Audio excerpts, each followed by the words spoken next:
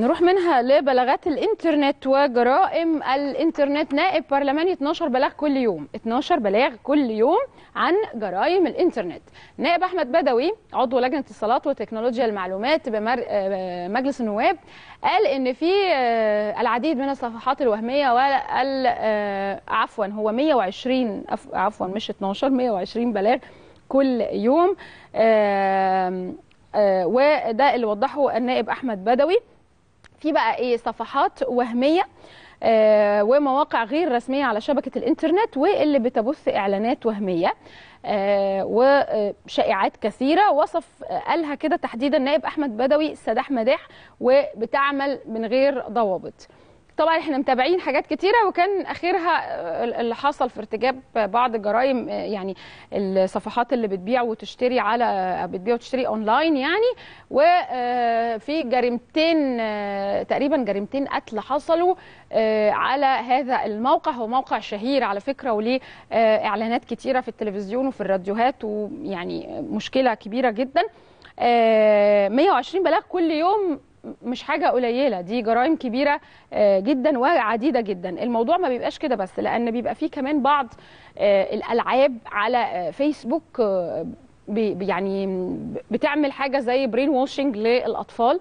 وبرضه دي يمكن تابعناها الفترة اللي فاتت ما خدتش حقها يعني من التوضيح الإعلامي. خليني أقول لكم لأن ناخد بالنا جدا الأطفال اللي في السن 10 سنين لحد 15 سنة تقريبا بيلعبوا دايما اللعبة دي أو بعض الألعاب. الألعاب دي بتعتمد على إن هي بتخلي الطفل ده قاعد قدامها طول الوقت والموضوع ما بقاش كمبيوتر بقى أو cyber café هو بيقعد قدامها على الموبايل.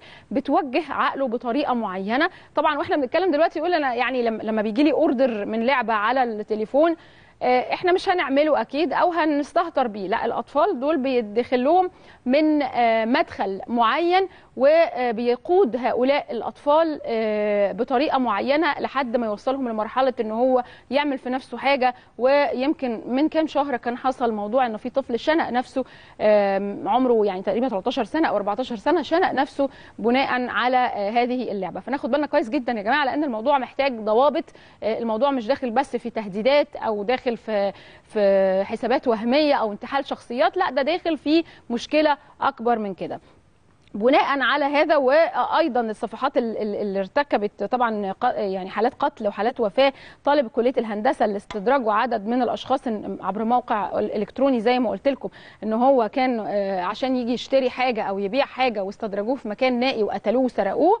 قبل كده وفاة سيدة اخذت آه ودي برضو حاجة مهمة جدا لازم أنوه ليها. آه الأدوية اللي بتتباع على آه الإنترنت. في سيدة آه للأسف فقدت حياتها بسبب تناول دواء من على الإنترنت. اشتريته دواء بقى معرفش الدواء ده بيخسس بتاع ضغط بتاع سكر ايا كان بس هي اخذت الدواء ده وطبعا عمل لها مضاعفات وجاب لها سكتة قلبية.